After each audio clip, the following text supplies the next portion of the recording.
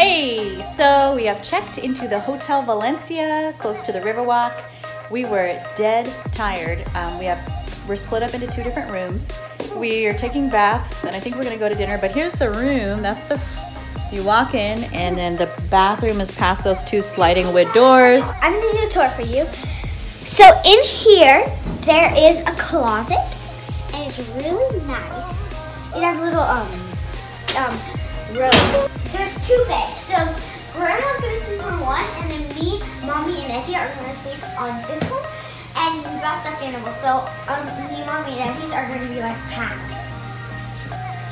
Oh, and then we have um, tables over here to do stuff. And chocolates. Chocolates. They left chocolates on the bed and music playing.